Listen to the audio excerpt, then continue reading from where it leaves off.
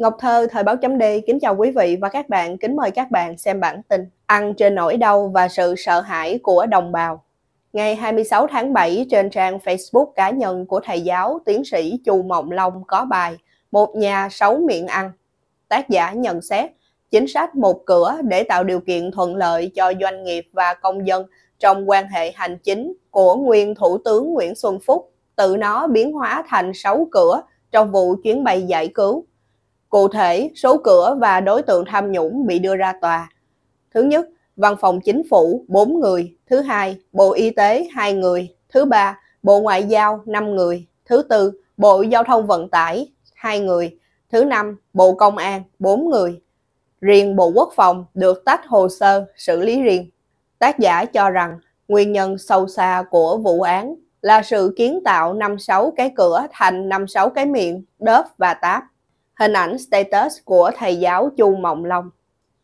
Theo tác giả, sáu cái cửa này cứ như nhà đông con với sáu miệng ăn. Số cán bộ cao cấp khi ấy bị kêu án đã lộ ra, ông bà nào cũng đang sở hữu hàng trăm tỷ, bằng chứng là khắc phục hậu quả rất nhanh để giảm án, lại còn xin giữ lại hàng chục tỷ cho con cháu. Tức là không đói nhưng vẫn đớp và táp trên nỗi đau và sự sợ hãi của đồng bào. Theo dõi phiên tòa, tác giả tin những lời khai của doanh nghiệp là chân thật. Cũng nhờ đó, cơ quan điều tra mới tóm được đám cẩu quan nhân cơ hội đớp và táp xương máu đồng bào. Tác giả hỏi tòa xử vụ này cho ai? Cho quyền lợi của công dân hay cho đám cẩu quan trong hệ thống quan quyền của họ? Khi tòa tạo điều kiện cho đám cẩu quan ngã giá nộp tiền khắc phục hậu quả và Viện Kiểm sát đề nghị giảm án xuống mức thấp nhiều lần so với công dân đói bắt trộm gà. Trong khi lẽ ra, tác giả nêu quan điểm tòa phải giảm án tội đưa hối lộ của doanh nghiệp mới phải đạo. Trong tình thế bị bắt chẹt như vậy, dễ hình dung doanh nghiệp không bị đi tù vì tội đưa hối lộ thì cũng phá sản và tán gia bại sản. Tác giả đánh giá quan chức nhận hối lộ là do lỗi đưa hối lộ của doanh nghiệp là lối nói hồ đồ của đứa vô học. Không nói ra ai cũng biết, doanh nghiệp ở đất nước này làm ăn chân chính, không hối lộ, bôi trơn qua các cửa đều có thể chết bất đắc kỳ tử. Đó cũng là nguyên nhân chính cho mọi sản phẩm xuất nhập đều đổi giá trên trời và thị trường trở nên bất ổn. Hình ảnh dơ cao đánh khẽ, Viện Kiểm sát đề nghị giảm án cho hàng loạt bị cáo. Tác giả mỉa mai, nếu Marx còn sống, chắc chắn ông phải chỉnh sửa công thức định giá hàng hóa bằng vốn đầu tư nguyên liệu, cộng sức lao động, cộng vận chuyển, cộng tiền hối lộ, cộng lợi nhuận. Trong đó, tiền hối lộ tính bằng phần trăm tổng giá thành và quyết định sự sống chết của doanh nghiệp. Lẽ ra trong điều kiện phòng chống dịch, chỉ cần mỗi Bộ Y tế kiểm soát dịch bệnh là đủ, mọi rào cản phải được dỡ bỏ, trong khi người đứng đầu lại kiến tạo năm sáu cửa để thi hành công vụ đặc biệt. Chẳng phải phân phát quyền bắt chẹt, quyền ăn chặn cho đám cẩu quan tay chân của mình hay sao? Theo tác giả, buộc người đứng đầu phải chịu trách nhiệm bằng cách từ chức, chưa phải là xử lý nghiêm túc. Với trách nhiệm của người đứng đầu, bắt họ phải cùng khắc phục hậu quả và chịu án phạt nào đó mới công bằng và nghiêm minh. Cẩu quan ranh ma lắm, họ biết ở tù vài ba năm mà gia sản sau khi nộp khắc phục hậu quả vẫn còn hàng chục tỷ thì chúng sẵn sàng đi tù. Có nghề buôn bán nào lãi bằng nghề đi tù. Không chừng trong và sau khi ra tù, chúng còn nói theo giọng của Chí Phèo, ở tù sướng quá. Tác giả cho rằng công dân bất lực thì có quyền nguyền rủa. Ngoài án tù thì còn một tòa án nữa là tòa án lương tâm. 40.000 oan hồn chết cô đơn nơi hải ngoại và các khu trại cách ly sẽ báo oán từ kiếp này đến kiếp khác, báo oán đến cả những kẻ đang còn vận đỏ khi cơ quan điều tra chưa đủ căn cứ để tóm và ném ra trước vành móng ngựa. Các quan tòa và các phạm nhân nên nhớ điều này. Tòa án tuyên càng nặng, tội nhân càng được chuộc tội và được tha thứ. Tuyên càng nhẹ, tội nhân càng bị ô nhục và bị nguyền rủa muôn đời. Người đời nguyền rủa cả phạm nhân, con cháu phạm nhân lẫn quan tòa đấy. Quý vị và các bạn vừa theo dõi chương trình cập nhật tin tức của Ngọc Thơ thời báo chấm D với bản tin Ăn trên nỗi đau và sự sợ hãi của đồng bào. Đảng và chính phủ phải xin lỗi dân, đó là điều tất yếu.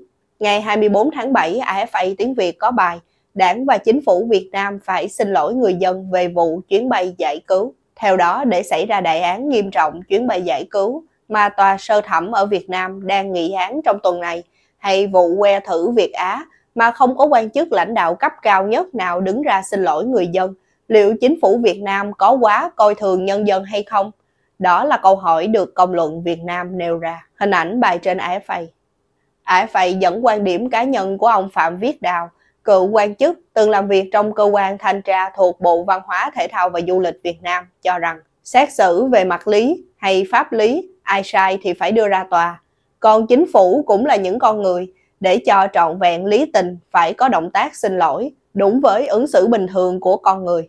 Ở Việt Nam, mọi ứng xử ở trong nước đối với vấn đề quản lý, quản trị là chưa trọn vẹn. Tôi theo dõi vụ án giải cứu này, Viện Kiểm sát cũng không nói gì đến việc phải đền bù cho người bị hại, và ngay những người bị hại cũng không có đại diện trong phiên tòa. Như thế không đúng, bởi vì tất cả số tiền hối lộ đó là lấy tiền của dân, lấy tiền của các nạn nhân, chứ không phải là tiền của nhà nước.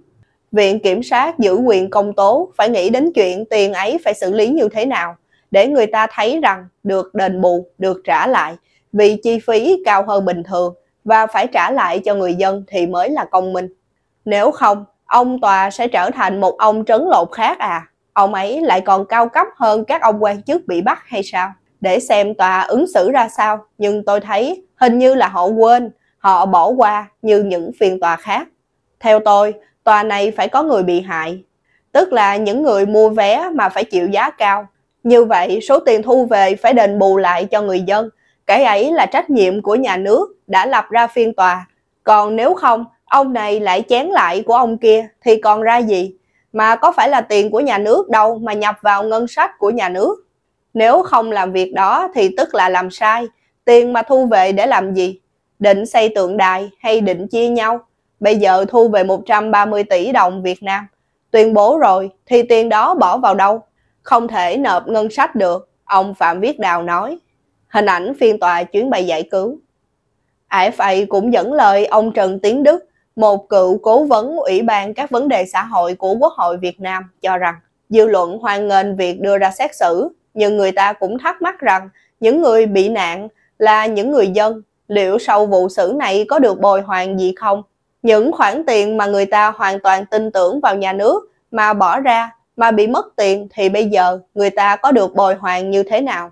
Tôi nghĩ rằng sau phiên tòa, chính phủ và các bộ liên quan phải trả lời trước công luận và trả lời trước nhân dân về chuyện này. Việc mà các quan chức trong chính phủ để xảy ra những chuyện, những hành vi vi phạm pháp luật mà sâu rộng như thế, ảnh hưởng đến uy tín của chính phủ thì xin lỗi là một điều tất yếu. Tôi không nghĩ rằng những người có trách nhiệm là vô can, họ phải chịu trách nhiệm bởi vì tất cả cán bộ đều phải tuyển chọn được sàng lọc qua quá trình, cũng rất nhiều cấp, nhiều giai đoạn khác nhau mà người ta vẫn gọi là được thử thách ở nhiều cương vị khác nhau. Cho nên, đến khi có vi phạm pháp luật, chắc chắn những người từng bổ nhiệm họ, đã từng phê duyệt họ, tôi nghĩ phải chịu trách nhiệm. Nếu mà nói gọn lại một câu, đấy là sự phản bội niềm tin. Bởi vì người dân đã tin tưởng, người ta đặt hết cả niềm tin, thậm chí đặt hết cả tiền của của người ta vào những cơ quan có trách nhiệm của nhà nước. Bây giờ những niềm tin của họ bị phản bội, họ bị lừa, thì đấy là sự phản bội niềm tin. Quý vị và các bạn vừa theo dõi chương trình cập nhật tin tức của Ngọc Thơ thời báo chấm D với bản tin Đảng và Chính phủ phải xin lỗi dân, đó là điều tất yếu. Quý vị và các bạn hãy chia sẻ video này để nhiều người cùng biết cũng như bấm nút đăng ký kênh youtube và facebook của Thời báo chấm D để được cập nhật những bản tin mới nhất, nhanh nhất và trung thực nhất. Ngọc Thơ, Thời báo chấm D